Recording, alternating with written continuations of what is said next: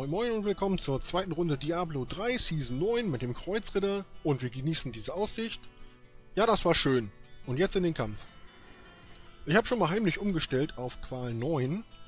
Dort holen wir uns jetzt mal eben neuen Schlüssel. Ja, ich habe natürlich noch welche. Aber wir wollen ja erstmal gucken, bevor wir uns jetzt hier an Schlüsselarmut kaputt machen, dass wir hier noch einen holen. Außerdem finde ich, dass es auch eigentlich mehr Legendaries gibt in den normalen Rifts als im Greater Rift. Kann mich täuschen. Ist so ein Gefühl. Okay. Die sind unangenehm. Das sind alles fiese Rattenpelle-Männer. Geht weg! Ja, genau. Übrigens, wo wir schon so fiese Gegner hier haben, wie wär's denn mit einem Leck? Ja klar, bin dabei, gib mal her. Was kostet denn so ein Leck? Ach, das kriegst du umsonst.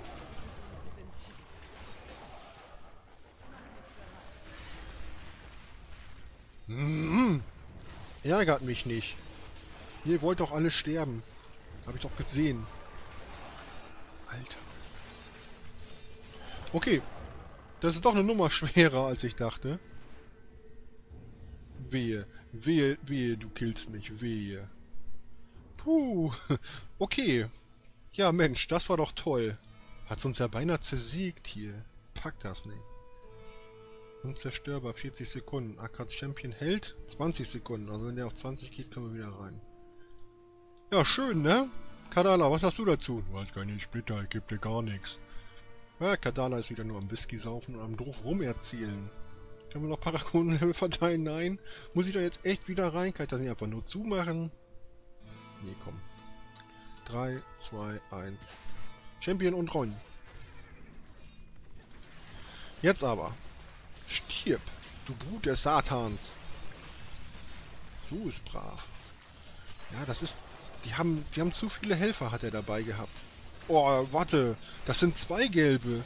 Ja, und ich wundere mich, was da so viel Schaden bei rumkommt.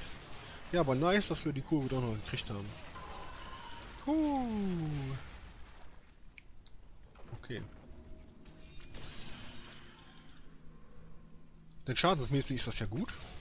So einsteckmäßig auch, aber zwei gelbe mit Begleitern, das war dann doch so ein bisschen die Hölle auf Erden. Ich sollte jetzt ein bisschen drauf achten, dass ich meinen mein, äh, Ring der Elemente richtig nutze und nicht immer so Lari-Fari. Aua, tut mir so weh. Tut mir doch nicht so weh. Das ist auf jeden Fall schon mal nach meinem Geschmack.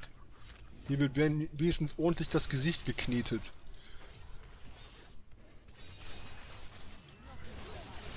Ja, wenn schon Hardcore, dann, dann muss das aber auch gefährlich sein. Da kann man ruhig mal sterben.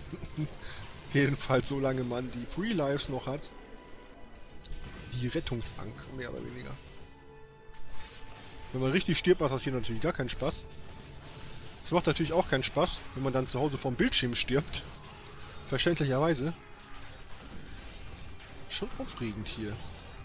Ist auf jeden Fall, uh, nicht so wie Softcore. Da pennt man irgendwann ein, weil wenn man stirbt, naja, passiert halt nichts. Kriegst einen Respawn nach ein paar Sekunden. Ich glaube, der geht dann auch immer höher. Ist schon so lange her. Und das ist ja wohl echt albern. Und Hardcore spielst du nicht, wenn du müde bist. Dann denkst du so, wow, Alter, das war jetzt so knapp. Ich habe jetzt erstmal mega den Adrenalinschub und spielst dann doch noch zu Ende. Oder denkst du, nee, komm, machen wir morgen weiter. Also, seid wach, seid gut genährt, habt nicht so viel zu trinken stehen, wenn ihr nämlich sterbt, dann rastet ihr total aus und haut alles über die Tastatur, selber schon gesehen.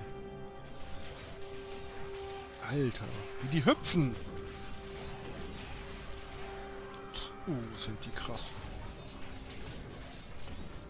Blöderweise kommen die ja immer in so einem Mehrpack. Irgendwo hier ist doch ein Nest. Warum sind das denn diesmal so viele? Ja, mein Templer hat leider noch kein Unbesiegbarkeitsmoped an. Der kann zwar schön Sachen ranziehen. Na, das kommt mir ganz entgegen. Dass ich dann wenigstens eine große Menge vor mir habe. Ja, jetzt gibt es die auch noch. Mit Ketten. 3, 2, 1. Ring aktiv. Jetzt! Sterbt! Sterbt! Naja, ein bisschen Schaden konnte ich machen. Oh, ja, genau. Richtig. Ja, Blitze und arkane Arschlochstrahlen. Ist doch nicht euer Ernst. Das waren schon wieder zwei Pakete. Was habe ich denn für ein Pech? Du willst in Hardcore nicht zwei Elite-Packs auf einmal haben. Wenn, dann sollen sie bitte ganz leicht sein. Guck mal, hier oben kommt direkt die nächste. Wäre ich nach oben ausgewichen statt nach unten, dann wäre er noch gekommen mit seinen Kackbegleitern. Ja, zum Glück hat der keinen Vortex. Der hat mich dann nur noch rangezogen. Der hat Blocker. Ja, das ist genauso schlimm. So, komm. Du machst wenigstens nicht so viel Schaden. Der haut ja nur alle paar Minuten nur einmal drauf. Bing, bing, bong.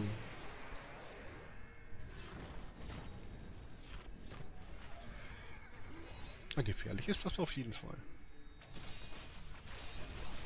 Ich fühle mich so ein bisschen wie ein Bungee-Jumper, der unter Alzheimer leidet. Er weiß nicht, ob er das Seil festgebunden hat oder ob oben jemand ist und äh, das Seil hält. Oder ihn absichert.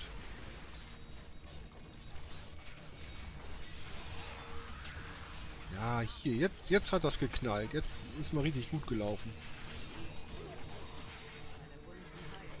Man sollte sich natürlich auf HC gerade im höheren Bereich, oder ich sag mal, in dem Bereich, wo es anstrengender wird, hier ist jetzt noch nicht ganz anstrengend, aber hier schon spannender, immer so ein paar Fläschchen in der Walachei überlassen und nicht alle wild einsammeln. Ist ja leicht in Sammelwut. Ach, guck mal, ja, komm, jetzt sammeln wir alles ein. Und zack, alle roten Fläschchen mitgenommen. Lasst ein paar liegen, könnt ihr hinter wieder zurück. Kann schon mal den Arsch retten.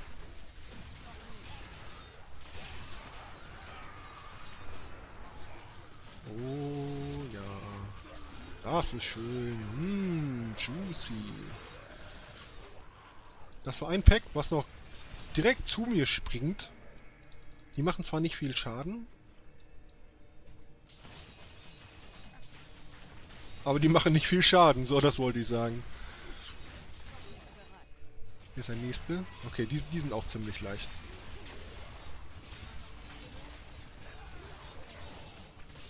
Kommt schon, ihr müsst sterben. Ich habe gesagt, ihr seid ziemlich leicht. Ja, der hat wieder Diener dabei. Das heißt, du bist umzingelt von 100. Ne, das gibt's ja zum Glück nicht mehr. Ich glaube, Horde haben die abgeschafft. Was ist denn hier los? Euer Ernst? Einmal Macht und einmal Schild? Ja, komm. Muhaha. Muhaha, sagen wir da mal. Ja, kommt, Elite. Kommt alle ran. Ihr werdet alle bedient. Ja, so mag ich das. Endlich nimmt das Ganze hier mal Fahrt auf. Brustschutz, grün. Das sah aus wie... Huch! Hier schon Lichtblitze in meiner Bude.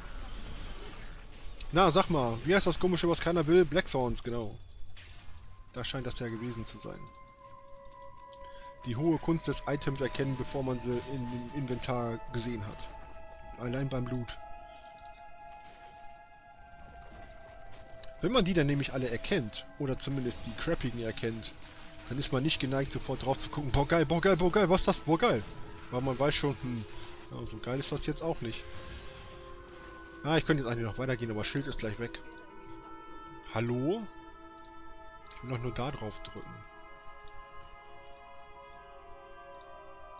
Und wieder das schöne Rätsel.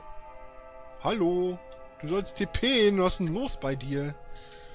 Und das Rätsel, wie viele Paragon-Stufen kriegen wir jetzt? Ich würde wetten, wir kriegen nur drei, weil wir sind da schon fortgeschritten. 144? Äh, 144. Och, ja klar. Das ist ja auch nur ein normaler Rift. Die geben ja gar nicht so viel.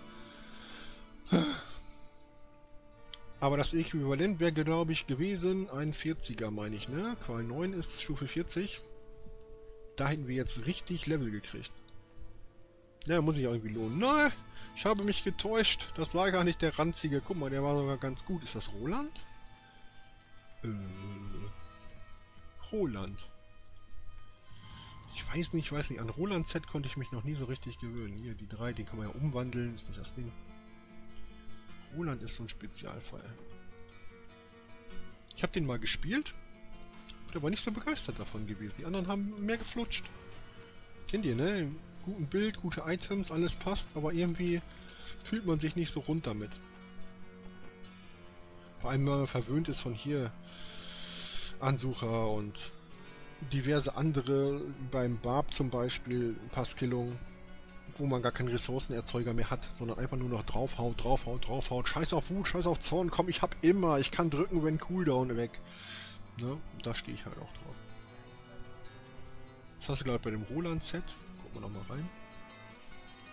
Im Roland. Da hast du Schildstoß, Schwungangriff. Das sind Ressourcenverbraucher. Und reduzieren die Abklingzeit der Gebote.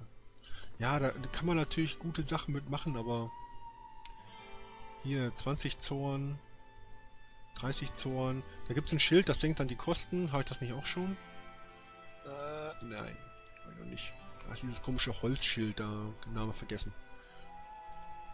Kanala. Weiß, was ich will. Ah, Goldhaut, schon wieder. Ich will nicht Goldhaut haben.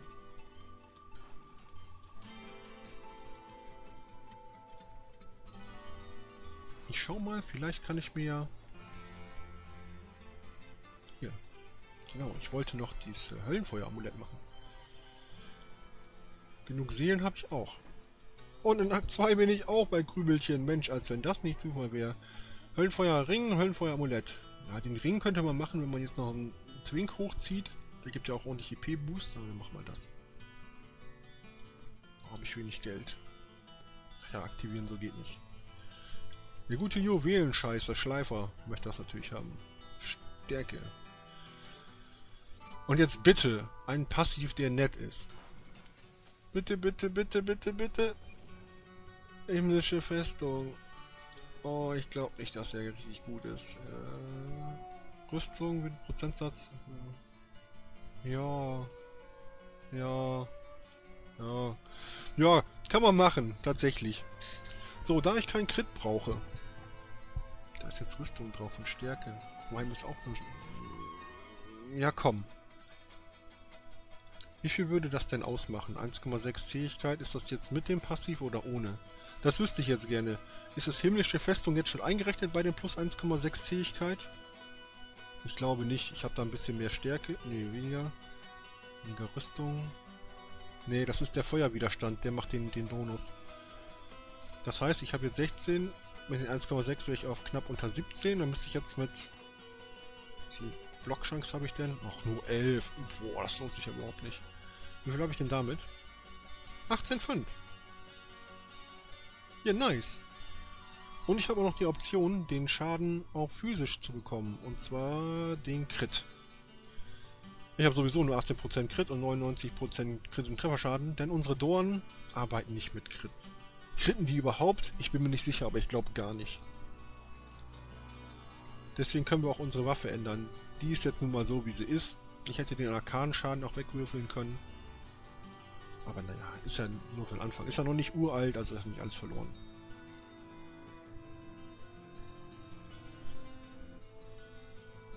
Guck mal.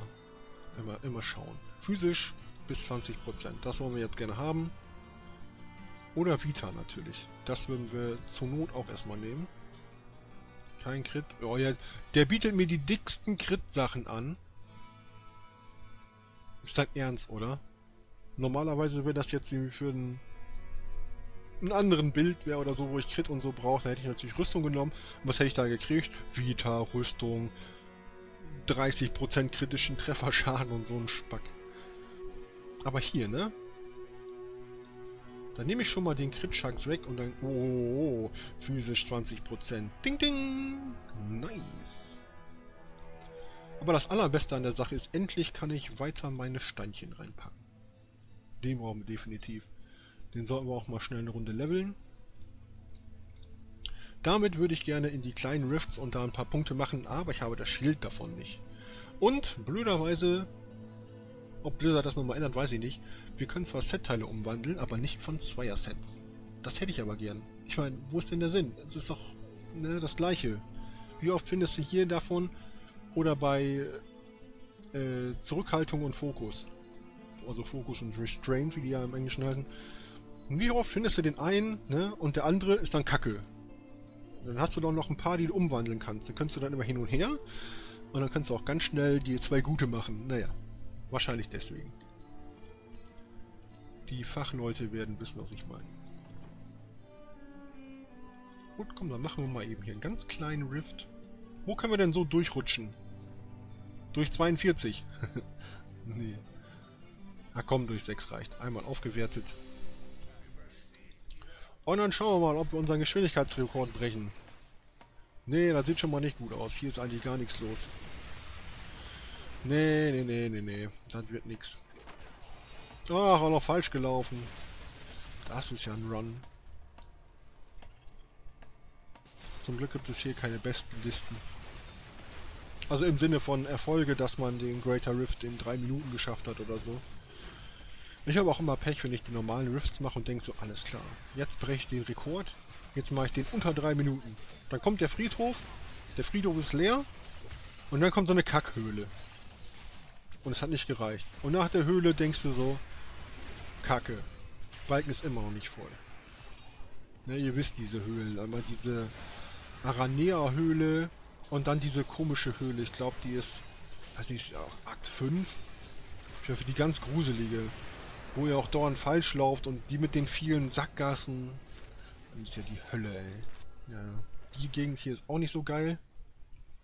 Jumpen wir mal weiter. Können wir hier Experimente wagen, noch mit der Skill? Ah ne, wir können ja nicht umskillen. Nur Guten Tag, Herr Kackbuhn. Kein Kackbuhn. Höre ich dann aus dem Off. Aber das Off lügt.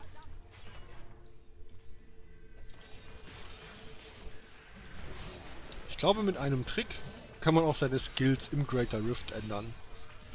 Ich meine, da war mal was, aber das ist ja dann Exploit. Könnte man sich ein bisschen strafbar machen. Im Sinne von, haha, erwischt, gebannt. In irgendeiner Season war das, meine ich. Oder ich vertue mich jetzt mit einem anderen Spiel. Das kann natürlich sein, weil ich eigentlich alles wild durcheinander zock. Nicht exzessiv. Exzessiv zocke ich gerade. Hm die drei. nee, ich glaube Elder Scrolls. Elder Scrolls zocke ich jetzt mit am meisten, da ich für das Housing verdammt viel Geld brauche. Also müssen wir Geld farmen. Ihr seid alle herzlich eingeladen, unsere Gilde zu joinen. Eben Herzpakt am besten, dann machen wir auch schon PvP. Oh, Mensch, Eigenwerbung. Aber ah, das macht ja nichts. Bleibt ja alles in der Familie.